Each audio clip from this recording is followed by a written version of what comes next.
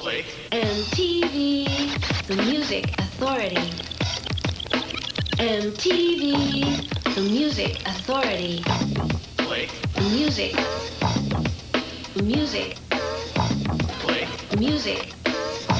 Play. The music authority. Play. Authority.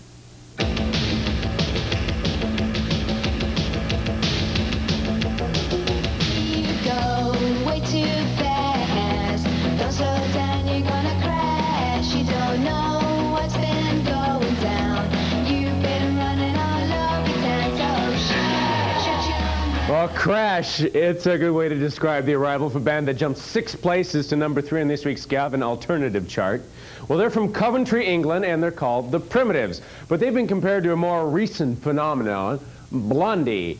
Now, why Blondie? Well, it's partly the music and partly vocalist Tracy Tracy, who does resemble Debbie Harry in voice and hair, if not exactly height. Now, on stage, Tracy's presence is dominant.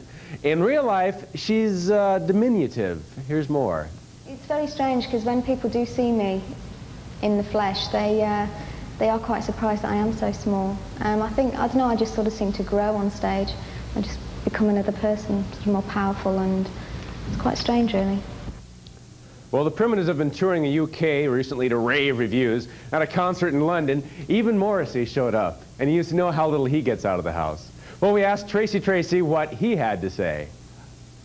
It's a, it's a bit strange. Um, No. We talked about Coventry Cathedral, which is a, a, a monument, historical monument in Coventry. Um, we talked about that. We also talked about food. I think we talked about shoes as well. Boy, I wish you'd had a camera crew to catch that one there.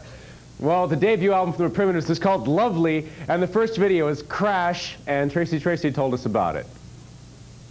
Crash is a, a very old song. Uh, within six weeks of the band being together, we um, went into a studio in Coventry.